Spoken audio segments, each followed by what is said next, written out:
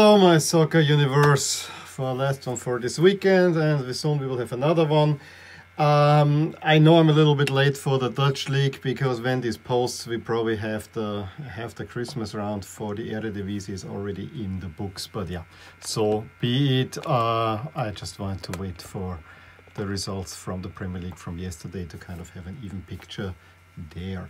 Um, I'm wearing Liverpool, the away jersey 10 10 11, which proves that also a bad team can have a great jersey. I do this for a reason, which we'll talk about in a bit. Headlines um, Liverpool's goal scoring form, uh, goal scoring exhibition uh, continues and uh, really at Crystal Palace it was just a parade of uh, great goals. We have City also beating uh, Southampton. Arsenal continues to have troubles and in probably the biggest matchup we had that um, Leicester wins at Spurs, sending Spurs down and United has a field day against Leeds. Uh, and in the Eredivisie, yeah, I mean PSV and Ajax keep winning, so I mean that doesn't change much. Uh, we have, but goals they score, each of them four, so that's great. Let's talk a little bit about the games. Uh, I actually sat down uh, uh, Saturday in lunchtime sat down a little bit with my daughter uh, to watch Crystal Palace play Liverpool. I didn't actually plan it, but I said, okay, that sounds interesting enough. Uh, was then completely horrified in what Liverpool was playing in because uh, the Palace home jersey against the black Liverpool jersey, that was not a good contrast at all. Proving A, that Liverpool probably doesn't have a suitable uh, alternate kit they would probably you could use a white one but uh, more importantly why are they not playing in this uh, turquoise kit there? I know the goalkeepers have some something about but uh, i think visibility should go first. And either those turquoise kits are completely non-usable or uh, there's something else going on. I have not seen liverpool playing these uh, please let me know below the game, yeah, was not that great, and I could really afford to take a nap late in the first half up uh, into halftime. Uh, Minamino scoring already in the third, uh, Mane finishing a nice move in the 35th, and a really nice goal by Firmino where Robertson plays a nice ball, he comes in, and the way he then, with the outside of his right foot, uh, puts, puts in it was really, really nice.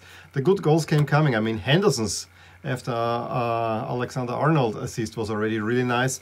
Firmino then thinks it uh, over. Salah comes on. Uh, Mane was not happy of going off for him. And Salah uh, it in. I mean, it was more or less he was hit on the head, but his uh, finish in the 80 84th, that was just a beauty.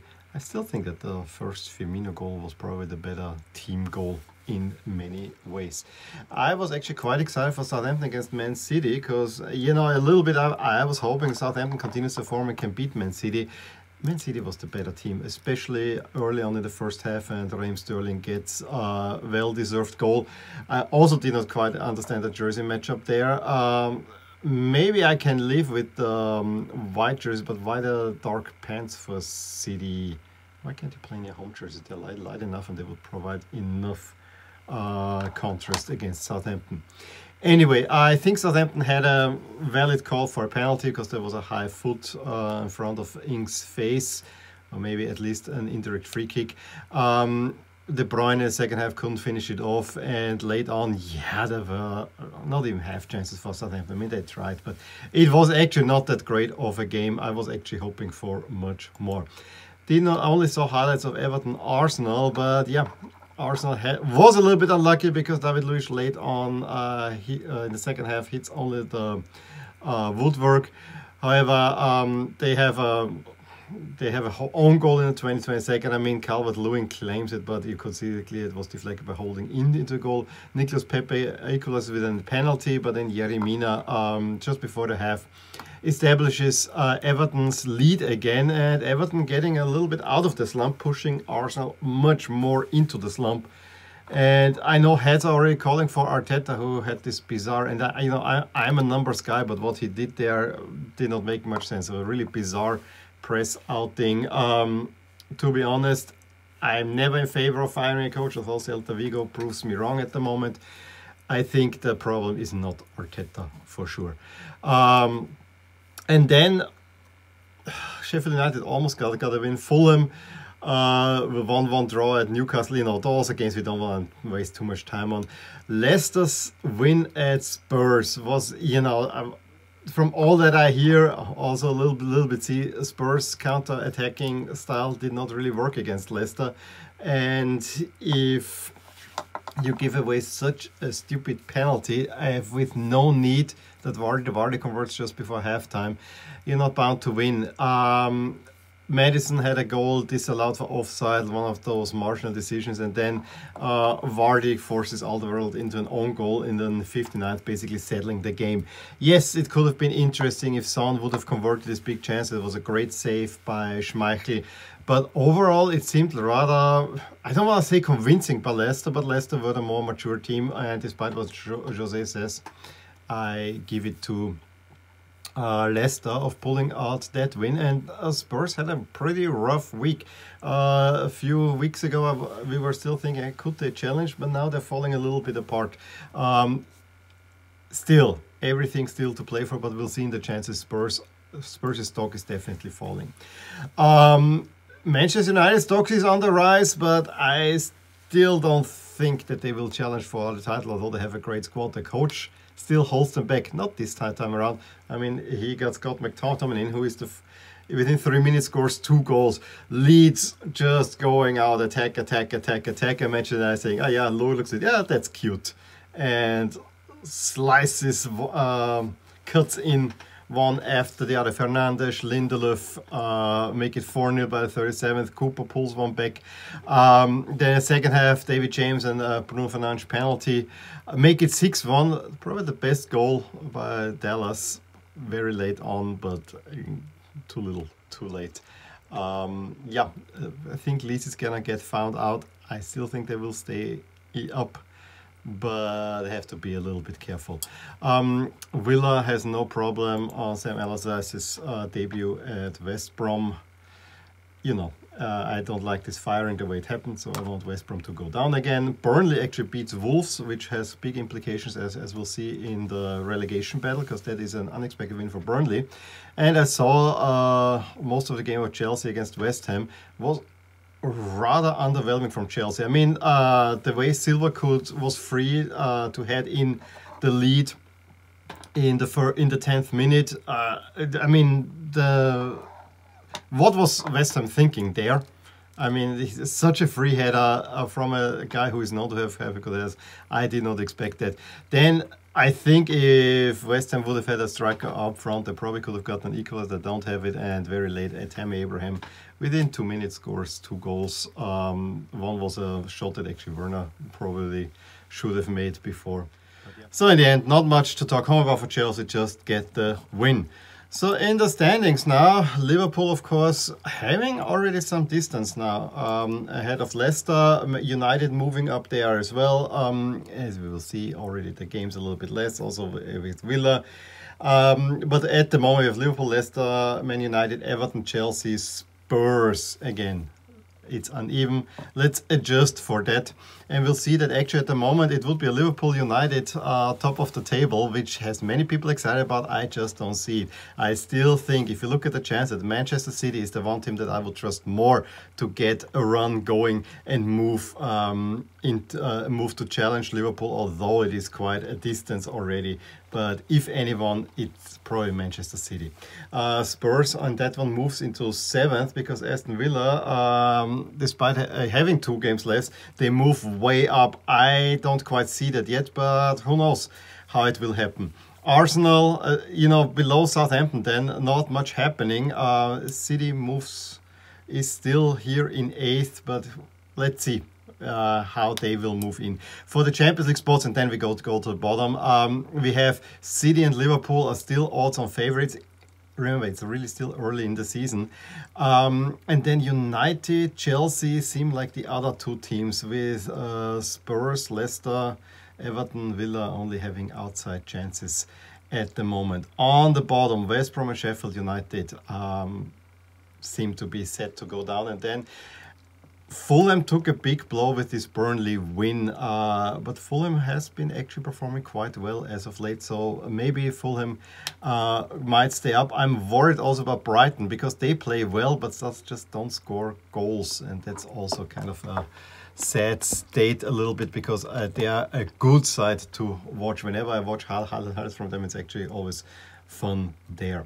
Uh, just on Boxing Day and a little, little bit after, we have actually quite some tasty matchups. Leicester against Man United, I think, is the standout tie there.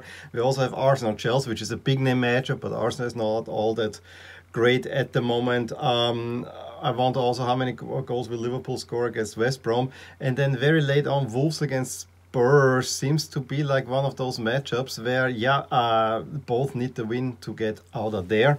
And just for completeness sake, I also add the round just before Christmas because I really don't don't know uh, if and when I will make uh, highlight videos. In that round, um, Chelsea Aston Villa sounds like a really interesting uh, tie. Everton Man City, maybe Ancelotti can do something. We have to see there. Um, United Wolves goes the same there. Uh, and, you know, traditional Newcastle Liverpool uh, just before the new year, but I honestly don't expect this to be much of a contest either. However, it's a very dense schedule. Uh, players need to be rested, so we don't know. And also, just before Christmas, we have the League Cup, uh, which is a competition I don't pay much attention to. Uh, in the Netherlands, um, we had uh, there are few uh, results that pop out. I mean, the one that uh, pops out really is the one on the bottom, but we get to that last.